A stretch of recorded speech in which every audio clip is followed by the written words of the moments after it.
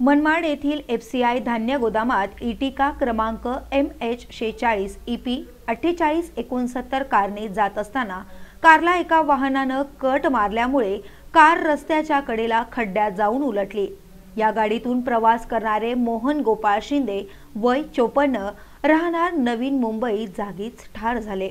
अपघाताचे वृत्त समजतात चांदवडचे पोलीस निरीक्षक संजय पाटील यांच्या मार्गदर्शनाखाली पोलीस उपनिरीक्षक रामकृष्ण जगताप हवालदार कैलास जगताप पोलीस नाईक बागुल कॉन्स्टेबल सूर्यवंशी बिन्नर घटनास्थळी दाखल झाले.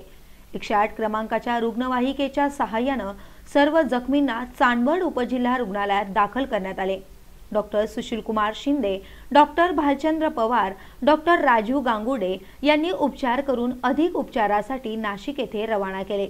चांदवड पोलीस स्टेशनला अपघाताचा गुन्हा दाखल झाला असून अधिक तपास हवालदार कैलास जगताप व त्यांचे सहकारी करीत आहेत. Dhananjay Patil Daksh police news Nashik.